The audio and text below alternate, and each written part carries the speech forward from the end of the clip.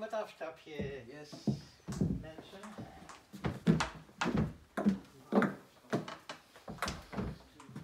Zit er nou nog een code op de deur? eh? Er zit geen code op de deur. Ja, behalve natuurlijk op je... je Ja, oh, ja, ja. ja. Om te beginnen, ehm, mag ik Paul, want ik Ja, weet het woord, maar... Hebben we hier alle handschriften staan, zo'n 8000. Zoals ze dus nu na uh, gemetamorfoseerd te zijn, zeggen, eh, zijn opgeborgen door collectie Zeeuws Genootschap. Maar, dan ziet het er dus eh, zo uit. En, en wordt hier ook nog wat mee gedaan? Of, eh, Hier wordt niks mee. nee, gedaan. ook, nee? Nee, ja, maar moeilijk mee doen. Ik bedoel, ten eerste ontbreekt, ontbreekt het begin. Dat zou mijn werk zijn.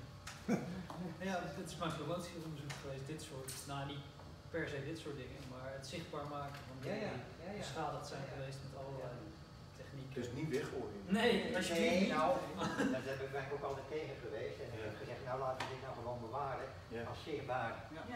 exemplaar van de verwoesting die na de Ja. oorlog eh, zich heeft voorgedaan. Topstukken die we hebben.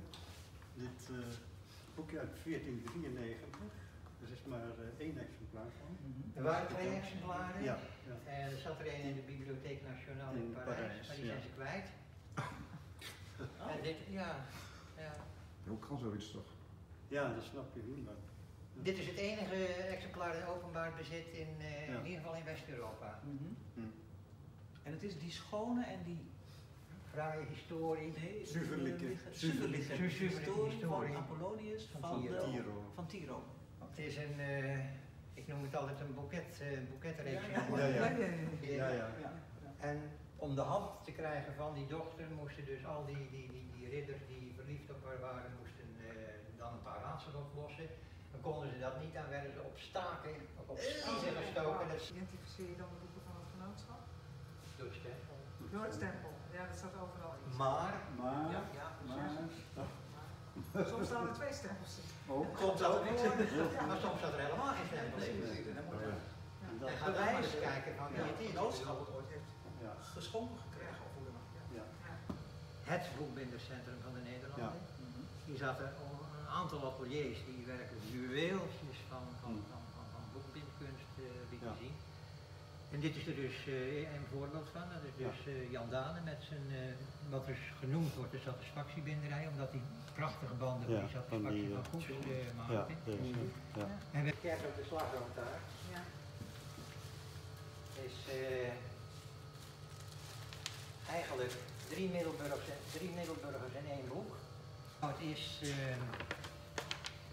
de 150 psalmen en gezangen. Meneer Lotus. En die was organist in de Nieuwe Kerk hier in Middelburg. Dus dan hebben we de derde Middelburg. Precies. Ja. Het is een opdrachtexemplaar aan Van der Perre geweest. Vandaar natuurlijk ook het wapen van Van der Perre op het voorkant. Er zit een schitterende gegraveerde opdracht van Willem Lotus in aan zijn excellentie de hoogedelige strenge heer Johan Adriaan van der Perre. Waarbij hij het aanbiedt. En het andere opvallende is dat alle psalmen, stuk voor stuk, zijn gegraveerd. Kijk, kun je ook duidelijk zien, maar je ziet die moeten, die moeten natuurlijk in het papier. Dus alle 150, alle 150 psalmen zijn er stuk voor stuk per gravure overgebracht in dit boek. Hij zit er twee keer in, één keer gekleurd en één keer ongekeurd. En eh, dit hebben we ook eh, gekregen van eh, die meneer zelf, de meneer Slosser. Ja. Dat, eh, dat blijkt ook uit het archief. Dat eh, kunnen dus precies eh,